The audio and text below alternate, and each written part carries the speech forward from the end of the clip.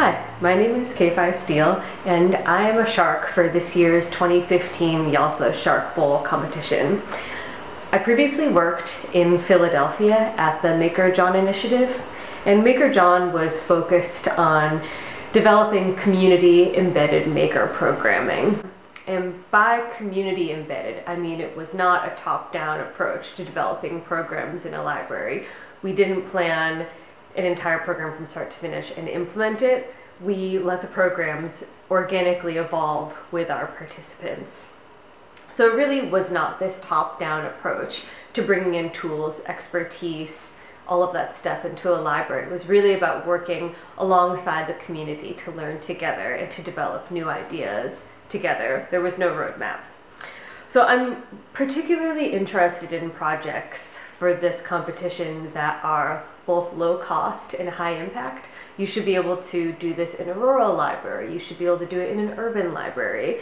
Um, it should be authentic to whoever the learner is. So both staff and the participants should be able to find some sort of personal meaning within the scope of the project that you're proposing.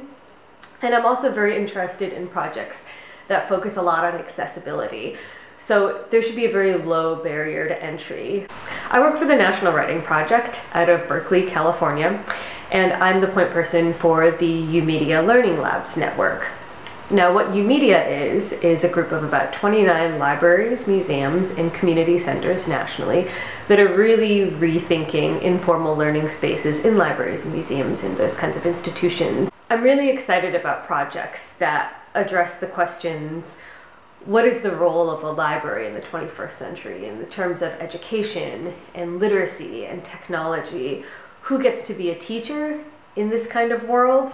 And how can you make technology relevant within a community? How can you take something that is primarily an object of consumption, like your phone or the internet, and turn it into an uh, opportunity for you to engage in dialogue with the rest of the world? Good luck.